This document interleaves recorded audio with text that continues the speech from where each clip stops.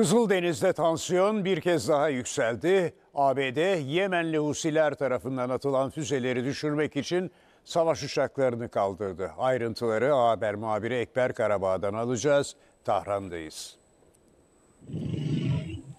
Evet Can Okan'a yaklaşık 10 gün önce Amerika Birleşik Devletleri öncülüğünde bu bölgede Kızıldeniz'de e, Husilerin saldırılarına karşı bir deniz ittifakı oluşmuştu. Ancak Husiler bunu dikkate almayarak İsrail'in Gazze'ye yönelik saldırılar devam ettikçe e, bu bölgeden geçen ticari gemilere yönelik saldırılarını devam ettireceklerini bildirdiler.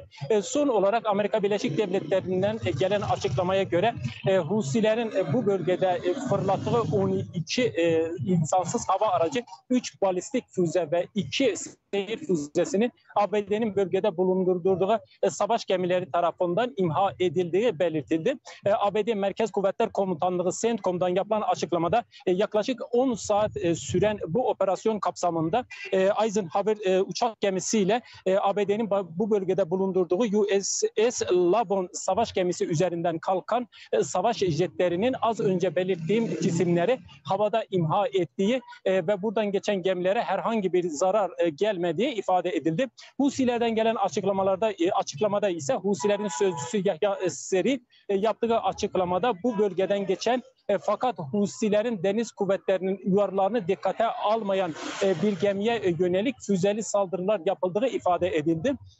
E, Geminin ismi MSC United olarak açıklandı. İlgili şirketten gelen açıklamada bu saldırıda gemi mürettebatının herhangi bir yaralanan olmadığı e, fakat anında bölgede bulunan e, az önce bahsettiğim o ittifak e, üyelerinin birisinin donanmasıyla savaş gemisiyle e, irtibata geçildiği ifade edildi. Diğer taraftan Husiler İsrail'in güneyinde e, İlad e, limanına yönelik de bir insansız hava araçlarıyla saldırılar düzenledi. Dün yapıldı bu saldırılar. İsrail ordusundan gelen açıklamada İsrail ordusu söz konusu İHA'ları havada imha ederek İsrail topraklarına e, varışlarını önlediğini ifade edildi. E, Canı Kolan son olarak da şunu kaydedeyim. Arkamda bir siz bir fotoğraf görüyorsunuz. Arkadaşlar dev ekra, ekranda da gösterebilirse geniş ekranda.